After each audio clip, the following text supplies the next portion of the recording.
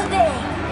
Cause we gon' rock the 皆さんこんにちはこんにちは私たちは北海道日本ハムファイターズファイターズガールです今日はアジアンフェスタということで私たち5人がお邪魔させていただきました。少々風は強いですがとっても天気がいいですね。今日は楽しんでいってください。よろしくお願いします。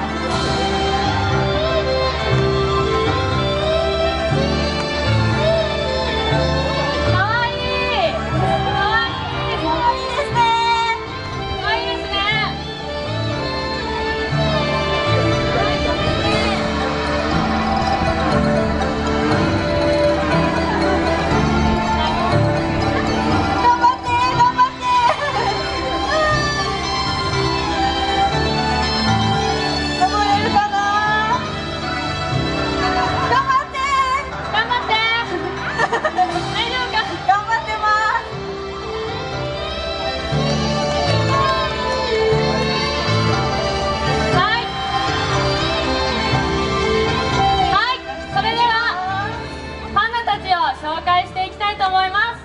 まずは桜パンダ。かわいい。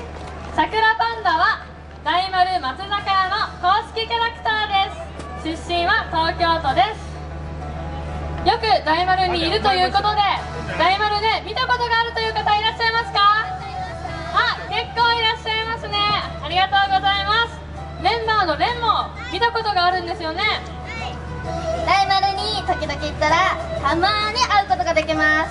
大丸の入り口でペットボトルのキャップを集めるイベントをずっとやっているようなので皆さんぜひ参加してみてください。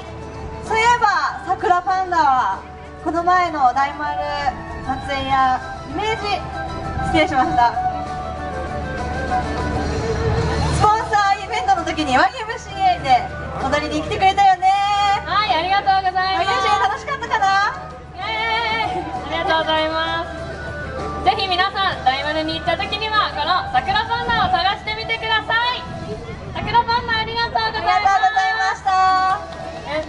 次のパンダは若パン若パンは和歌山県観光 PR シンボルキャラクターです。出身はもちろん和歌山県。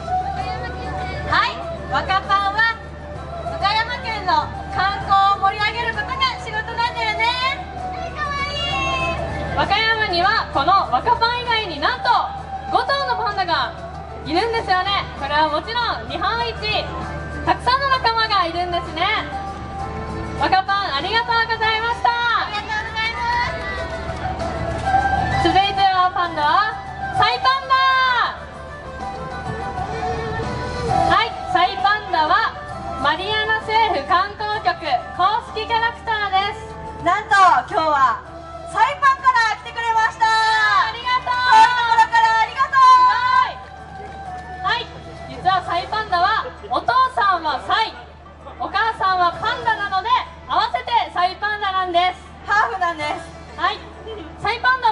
何かお決まりのポーズがあるんですよね。見してくれるかな？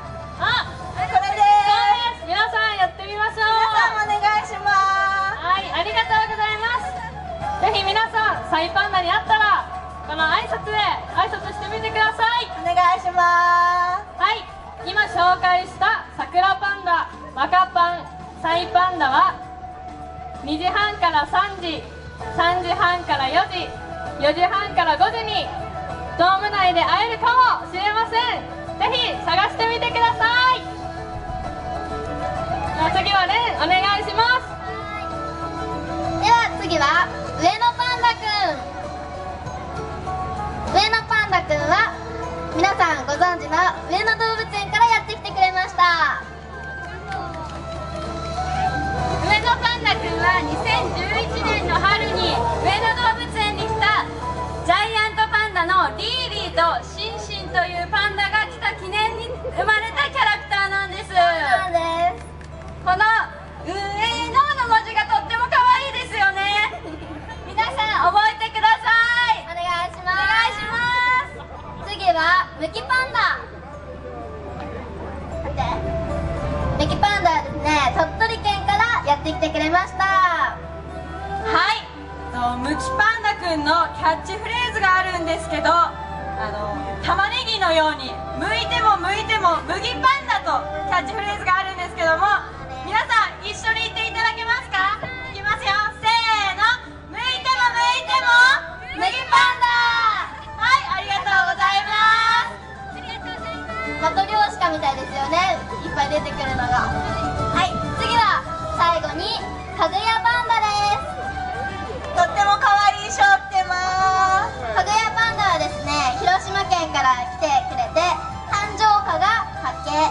趣味がお菓子作りという可愛いパンダちゃんです。この左の人々を応援するためのセンスがチャームポイントなんだよね。今日はこれをたくさん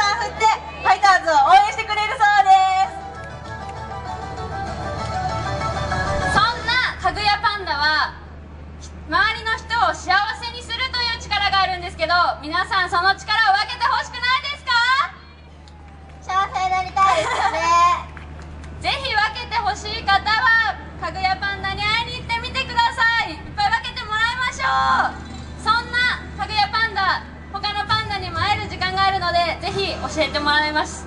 れんちゃんないつにいつパンダたちは現れるんですか？そうですね。かぐやパンダ含め上野パンダくんむきパンダ。かぐやパンダの3匹は、えー14時から14時半と15時から15時半と16時から16時半の3回に分けて一塁側コンコースで会えるかもしれないです。かもしれません。ぜひ。あったら幸せを分けてもらってください、みんなが応援しに来てくれたアジアンフェスタなんですが昨日から始まって今日と明日開催しています。ぜひ皆さん美味しい各国の料理を楽しんでいってください。アジアンフェスタということでこの6頭の